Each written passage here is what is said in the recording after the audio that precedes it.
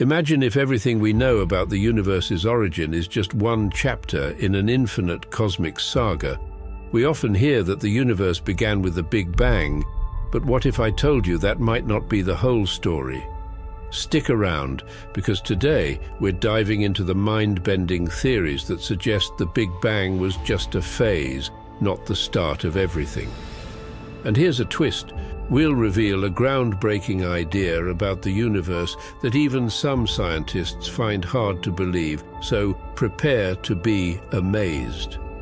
What if the universe is caught in an endless loop, forever expanding and contracting? This isn't science fiction, it's the cyclic universe theory.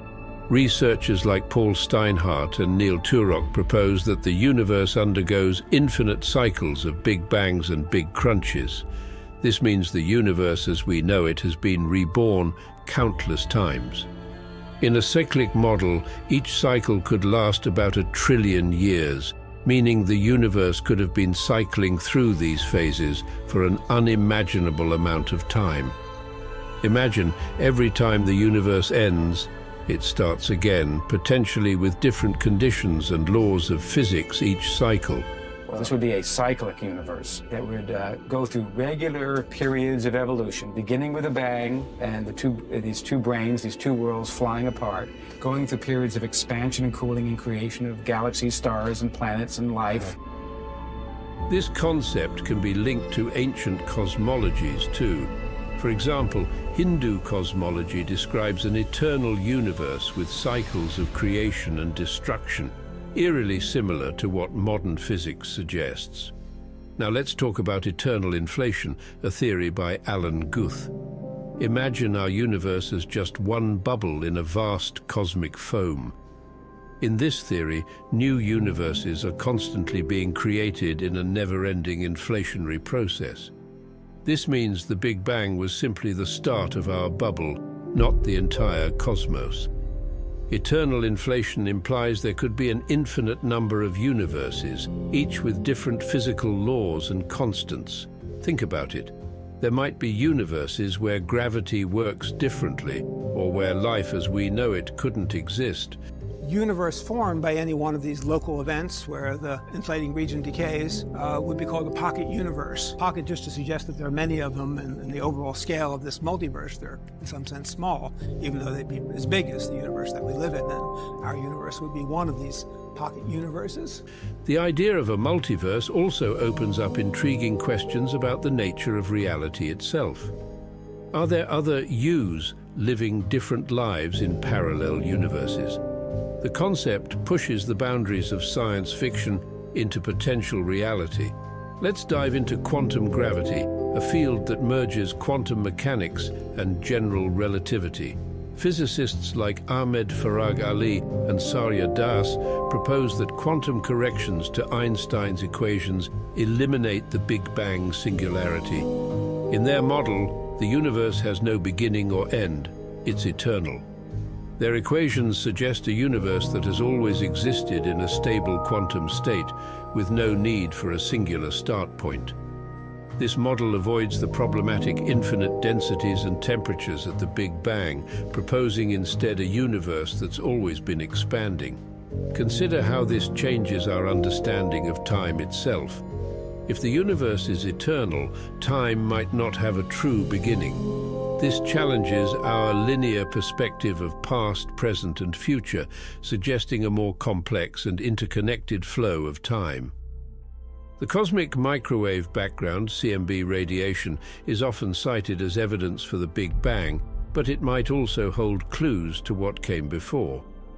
If the universe has gone through multiple cycles or phases, the CMB could contain imprints from previous universes, the CMB is about 13.8 billion years old, but anomalies in its data might hint at events predating the Big Bang. For instance, certain patterns in the CMB could be remnants of a previous universe's collapse, leaving a fingerprint on our own universe's birth. Some scientists, like Roger Penrose, suggest that these anomalies could be evidence of conformal cyclic cosmology, where each universe leaves imprints on the next.